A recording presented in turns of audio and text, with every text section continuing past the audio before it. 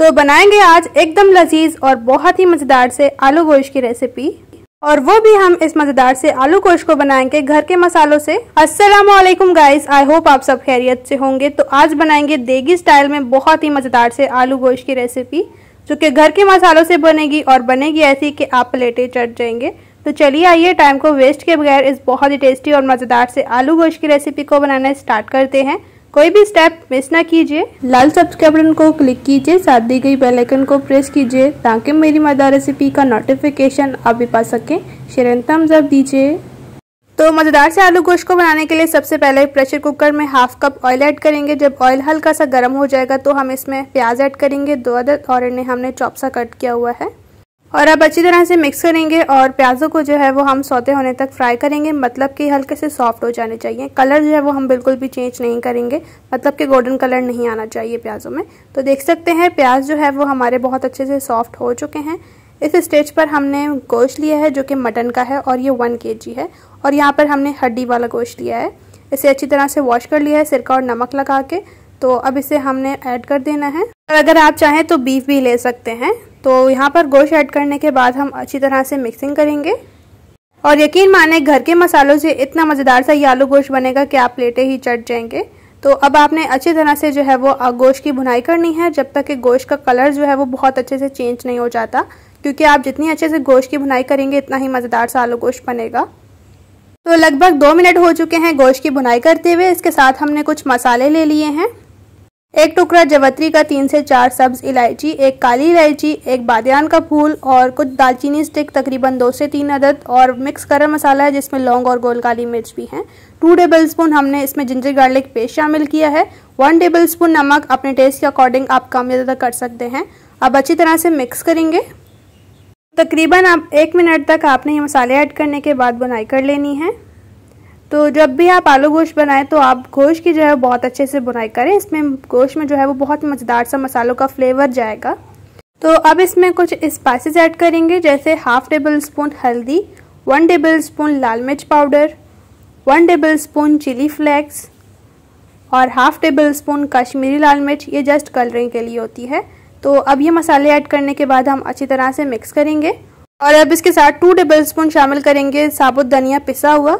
और one tablespoon कसूरी मेथी इससे बहुत मज़ेदार सी खुशबू आएगी। अब अच्छी तरह से मिक्स करेंगे।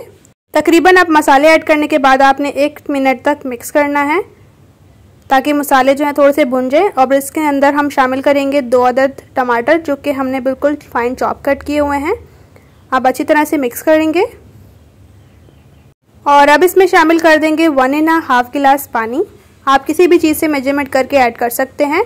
तो अब पानी शामिल करने के बाद पानी में अच्छी तरह से बॉयल आने देंगे। जैसे ही बॉयल आएगा तो हम प्रेशर लगा देंगे 20 टू 25 मिनट्स क्योंकि यहाँ पर हमने मटन लिया है उसे गलने में टाइम लगता है। तो लीजिए हमारे 25 मिनट हो चुके हैं। जब अच्छे से भाप निकल गई तो हम कवर को रिमूव करेंगे इस तरह से। तो हमारा जो है परफेक्टली गोश्त जो है बहुत ही अमेजिंग सा गल चुका है। तो अब इसके साथ जो है वो हमने आलू ले लिए हैं, जो कि तीन अदद हैं। छोटे साइज़ के हैं और इन्हें हमने इस तरह से छोटे छोटे पीसेस में कट किया हुआ है।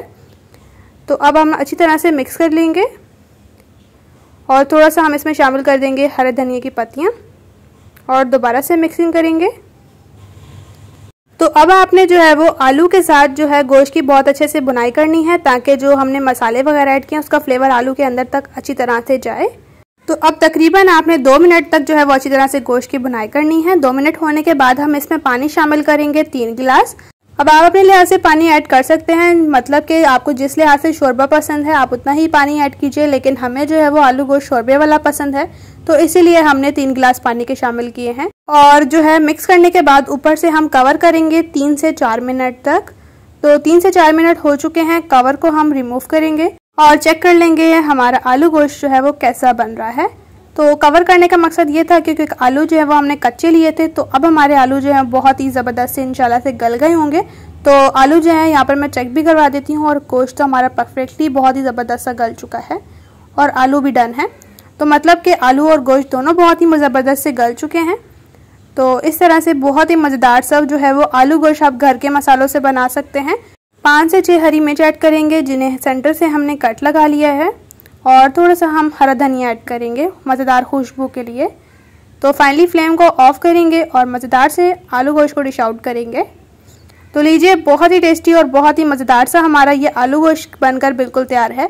आई होप कि ये रेसिपी आपको बहुत ज़्यादा पसंद आएगी। ट्राई ज़रूर कीजिए।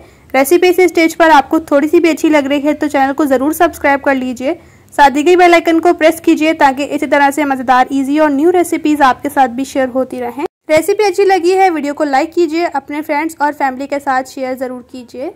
तो इसी तरह से एक मज़ेदार और न्यू रेसिपी के साथ भी मिलेंगे। अपना और अपने प्यारों का रखें, बहुत ज़्यादा ख्याल। थैंक्स फॉर वॉचिंग अल्लाह हाफिज़।